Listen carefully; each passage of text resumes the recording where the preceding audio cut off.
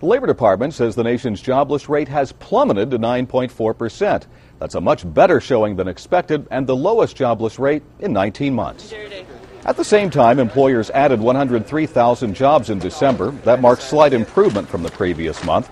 Now, we know these numbers can bounce around from month to month, but the trend is clear. We saw 12 straight months of private sector job growth. That's the first time that's been true since 2006. Indeed, but while the jobs report may have a feel good tone to it, the administration acknowledges that much work still needs to be done. I think there's a lot of good things that are happening, and we'll fully know next next year. But I'm optimistic, but we're not out of the woods. We have to keep focused. Fed Chairman Ben Bernanke shares that view, saying that a four tenths of a percent drop is encouraging, but is still not enough. It's not a number that's going to, um, if we continue at this pace, we're not going to see sustained declines in the unemployment rate.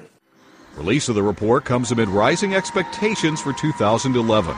But for many job seekers, folks like Greg Wilkerson and Jason Ford, the turmoil of unemployment is immeasurable and is darkening their own outlooks.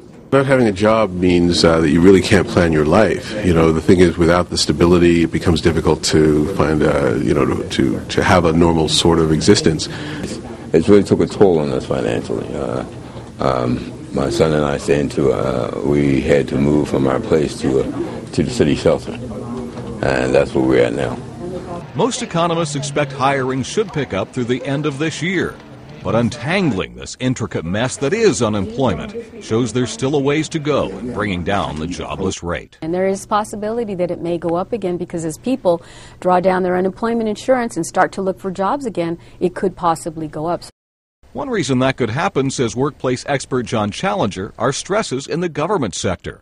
It's about 14% of the jobs uh, in the U.S., and inevitably those jobs are going to start to decline uh, as uh, governments in the country begins to deal with the heavy deficits. Although the recession has been declared officially over, the American economy is still trying to dig out from the worst decline since the Great Depression. Mark Hamrick, The Associated Press, Washington.